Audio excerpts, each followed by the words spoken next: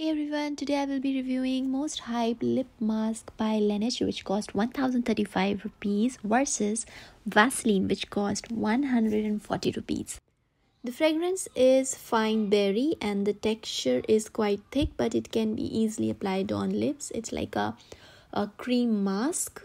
And now talking about the Vaseline which cost 140 rupees with no flavored fragrance and the texture is light. It's not like Laneige mask after applying both the products, I will still stick to the Vaseline. I've been using Laneige from last two weeks and I really wanted to love this product, but it's totally overhyped. I did not find any single difference. It smells amazing, but it absolutely does nothing. It's just a fancier side of a normal lip balm.